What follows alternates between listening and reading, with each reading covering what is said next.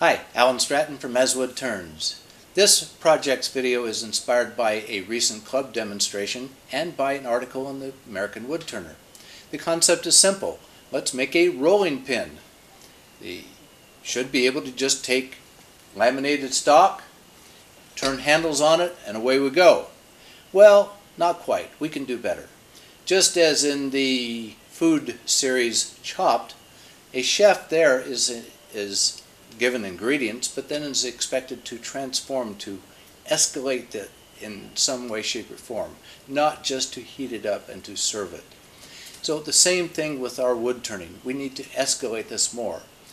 I think we can do better than the demonstration and the what was contained in the wood uh, article in the wood turner.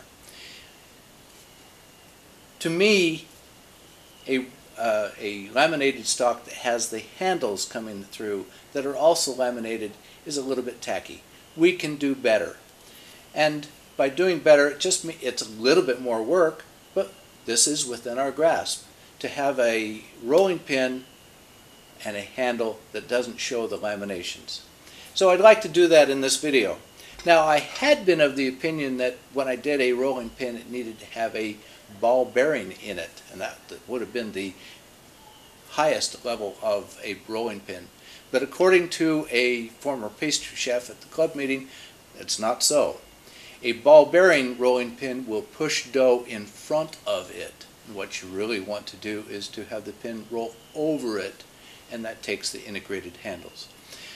So in this case, I want to make a laminated rolling pin, but these handles are separate.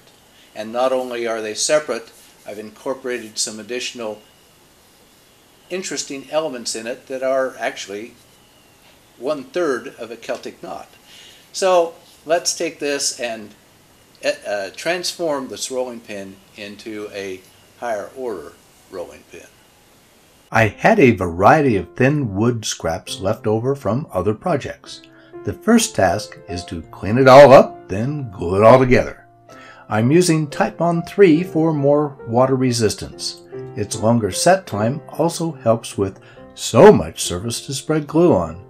Hotel keycards make great glue spreaders. A helper is a must. Now to prep the wood for the handle. All that I want to do right now is to rough turn it round into a consistent cylinder. Similar to last week's video, I need a template. This time, I made a hexagon for a 6-loop Celtic knot. I plan to offset every other loop by about 1 half inch by putting a spacer at the end of the blank in the cutting sled. Now I'm screwing the plywood template to the end of the wood blank. This time I'm remembering to apply hot melt to keep the plywood template from rotating on the screw. Then reset my sled for the angle and distance from the end for this Celtic knot. Hot melt glue is sufficient to keep stops in place. After adding the top reinforcement, I can make the first cut. Then flip it around to cut the other end. Same angles, so why not two at the same setting? And glue in the slice. While waiting for the glue to dry, I'm starting to rough out the main part of the rolling pin.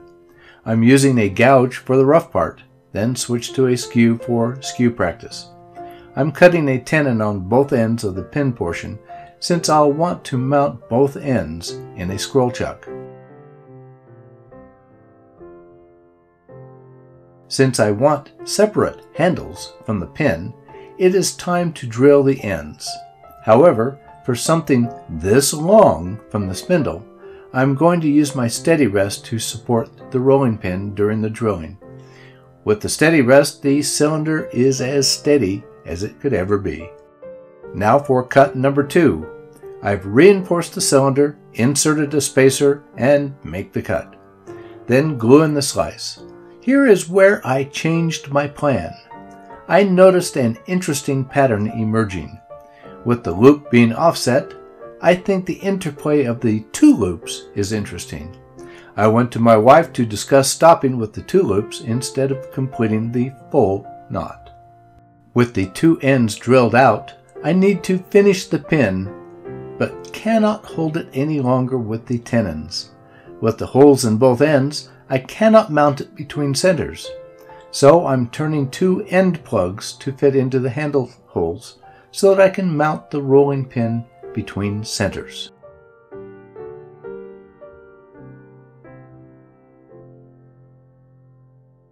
Now I have the rolling pin mounted again between centers. My skew is my preferred tool. I don't want to take it, the wood down very much, just enough to remove some defects and to get the cylinder to have a consistent diameter across its entire length.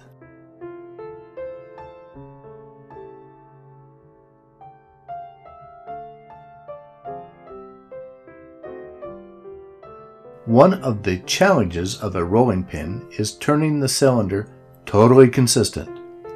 I have it close, so I'm now using a piece of plywood with 80 grit on its surface. As I sand, I'm noting that one of my wood plies is almost gone. I decided to take it down just a little more so I don't leave just a trace of the ply. Another side effect is that the glue portion is a little harder to sand. I can feel the difference in the pin. I'm switching back to a skew. The skew is not affected by the difference in hardness. Then power sand. I'm using the tool rest to help support the drill and to apply consistent pressure with the sander. I'm hoping this will prevent over sanding softer wood. Now it is sanded, but I still need to address the ends. This is the scary part. My plugs are only a press fit in the ends, and I need to cut off the tenons and clean up the ends. However, my fears were overstated. I was able to cut away the tenon by parting down to the plug. No problem.